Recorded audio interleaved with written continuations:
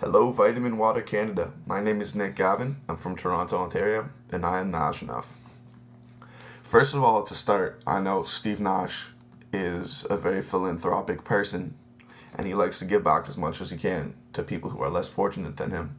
So, recently this year, me and my father went on a trip to Haiti with an organization called the School Bag, and we delivered school books and school supplies to children in need in schools in Haiti. Um, we went with a group of five people from all around the world Australia, America, Hong Kong.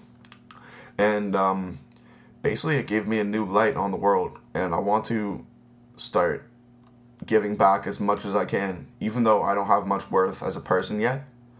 I want to start movements for people my age and people around the world who are my age, who are living in fortunate situations to help those who are less fortunate.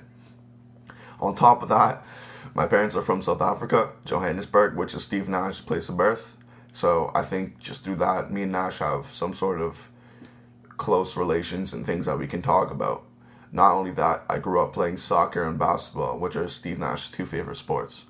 I believe I'm a perfect ambassador for this contest. Um, I love Steve Nash. He's been my favorite player ever since I started watching basketball.